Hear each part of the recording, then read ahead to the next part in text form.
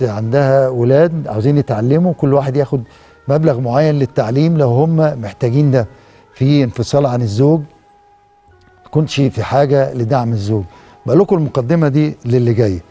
آه في عندنا الفقرة اللي جاية.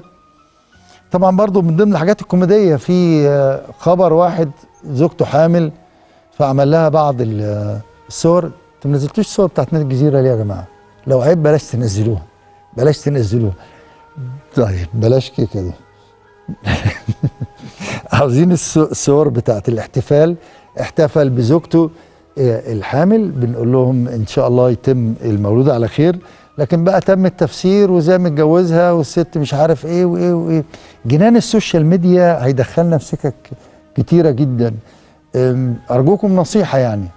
لو حد عنده موضوع زي ده يعني إيه نرجو الحفاظ على الأسرة والعين والحسد. الحسد مذكور في القرآن فالحاجات دي بتبقى ليها جوانب تانية. ده ال- الراجل احتفل بإن زوجته حامل الناس قال لك ده متجوز عروسة حامل. التفسيرات كتيرة. إيه الجنان بتاع السوشيال ميديا ده؟ عاوزين نهدى ونشوف حاجات نتكلم فيها تاخد تفكيرنا أكتر من كده. ولا إيه؟ قبل ما نخش على بقية ال- الفقرات طبعا أنا بأجل بعض الحاجات. الراجل اللي في الدقهلية عشان كده بقول لكم موضوع الدقهلية. في قصتين تم القبض على الراجل من نبرو نبرو آه، ليا أصدقاء كثيرين هناك ناس محترمة وتجار وشاطرين.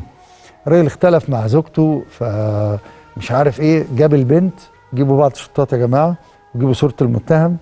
والفيديو نزل بقى من امبارح لقيت الناس بتبعت لي ولقيت الفيسبوك كله مقلوب على الراجل عاوز يحرق بنته. وقلعها الهدوم وعاوز يولع فيها ويعمل. أهو آه، آه، هذا الشخص آه، المريض. وبعدين آخر حاجة قالها إن هو بيشك في زوجته وفي بعض الفيديوهات المخلة ليها. طب ما تروح تبلغ. إيه إيه يعني؟ وكمان بعد مرور سنتين للطفلة دي اللي اللي زي القمر بيقول لك هو مش معترف بيها مش مسجلها باسمه. آه ما كملش الفيديو ده عاوزين صورة آه، صورة المتهم وصورة الطفلة موجودة معانا.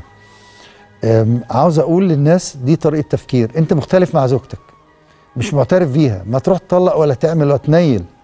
مش مش شك في البنت ما تروح تحلل دي إن إيه. إيه الثقافة؟ إيه الدهولة اللي إحنا فيها دي؟